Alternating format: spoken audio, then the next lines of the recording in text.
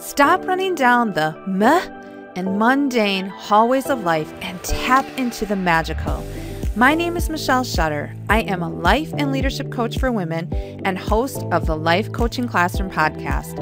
I'd like to welcome you to Life Coaching Classroom, where we walk with you in the hallways of life so you can align to the beautiful expansiveness of your true self through reconnection, reinvention, and rejuvenation. I'm so glad you're here. Welcome to class. Welcome back to episode 53 on the Life Coaching Classroom podcast. My name is Michelle Shutter. I am the host of this podcast and a life and leadership coach for women. And this is where we move out of the meh, the mundane, the mediocrity, and move into the magical of life.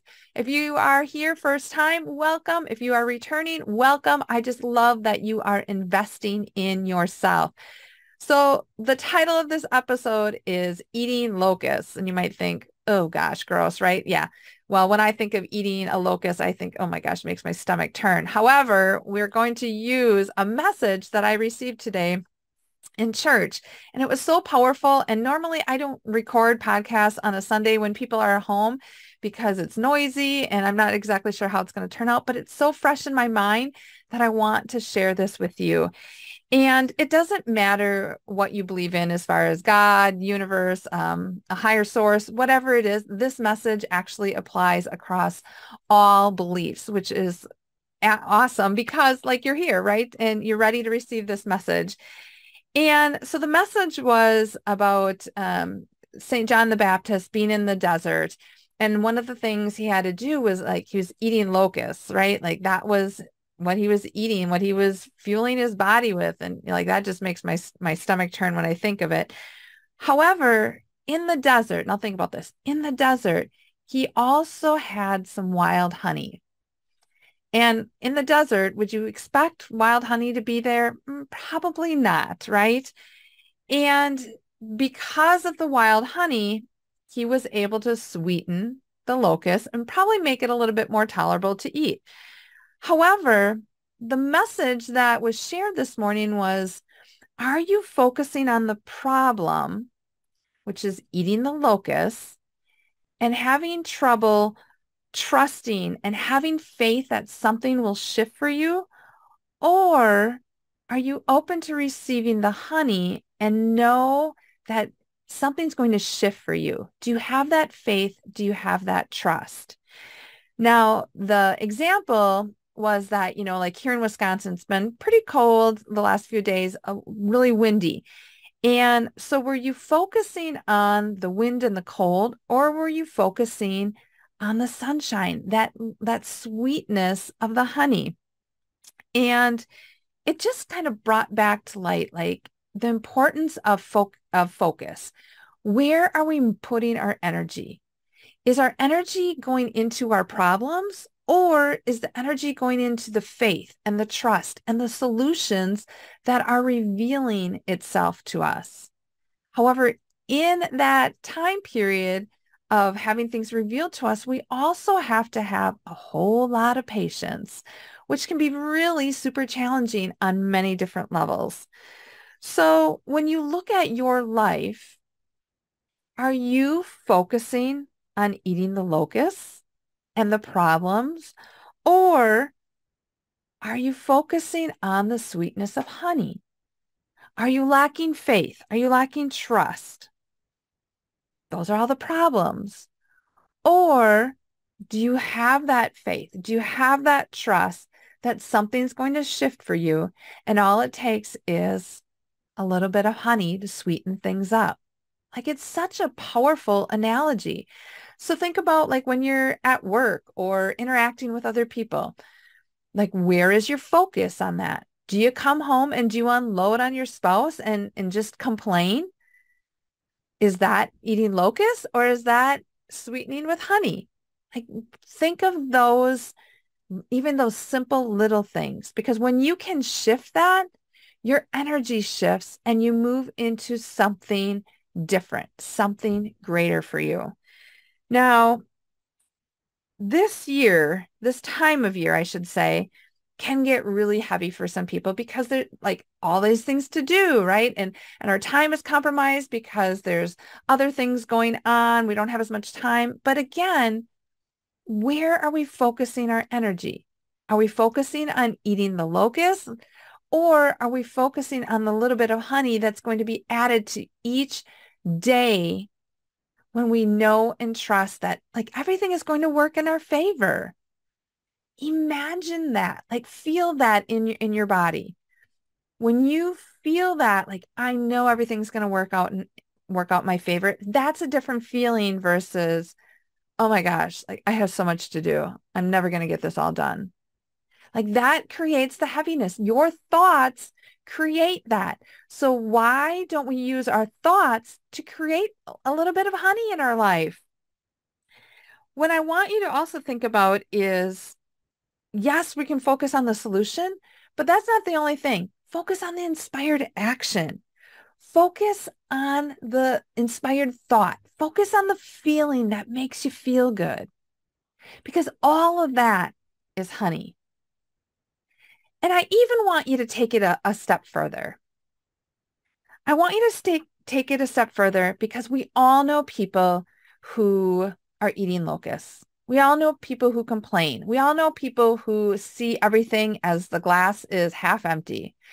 We all know people who just have that tendency to stay more in a in a negative sense, right?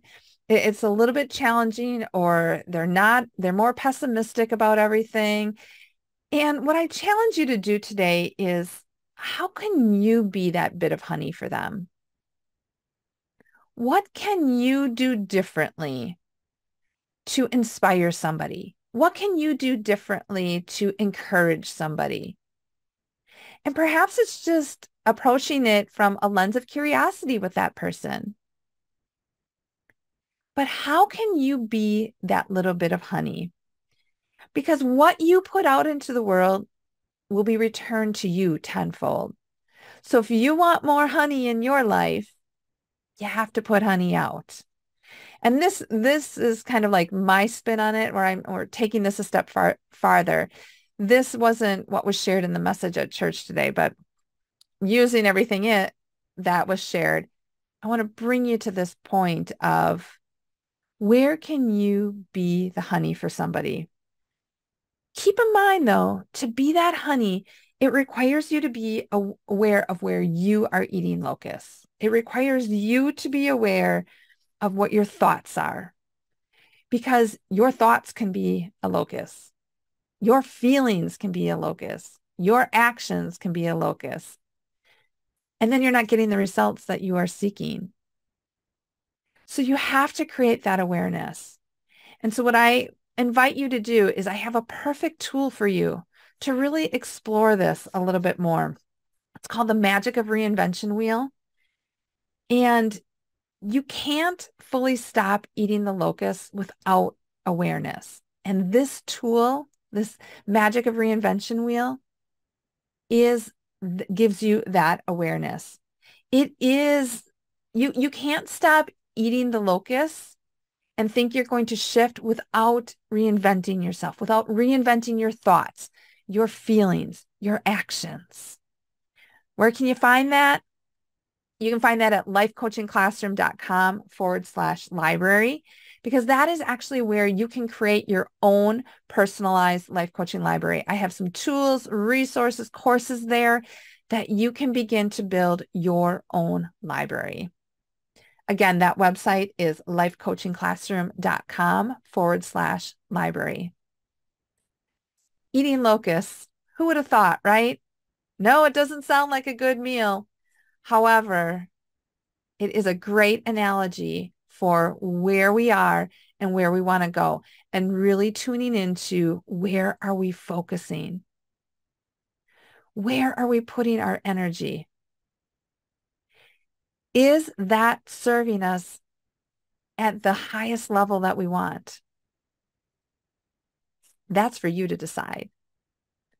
I would love to hear where you are shifting, where you are allowing that honey to really permeate your life and the lives of others. So make sure you share that with me, send me a DM, send me a message at hello at lifecoachingclassroom.com. And here's one thing uh, else I want to invite you to do. Share this with somebody else. Spread the honey. We all know people can use more inspiration, more up, uplifting messages in their life. Be that honey. And wherever you are watching this or listening to it, make sure you hit the sub- subscribe button so that you get notifications when the next podcast drops. I hope you have just an absolutely amazing day. Be an amazing you, and I will see you in class. Have you joined our monthly unit study? If not, you better head on over and reserve your seat at lifecoachingclassroom.com forward slash unit. The unit study gives you an opportunity to experience life coaching at no charge. Again, register and get all the details at lifecoachingclassroom.com forward slash unit. I do have a favor. Could you take a moment to share this podcast and Life Coaching Classroom with your besties? Perhaps they too are tired of running down the meh and mundane hallways of life. Let's give them a little spark in their day. Finally, I'd be so grateful if you take a minute to review the podcast. The reviews definitely help to spread the podcast to more women. Thank you. I so appreciate you, and I will see you in class.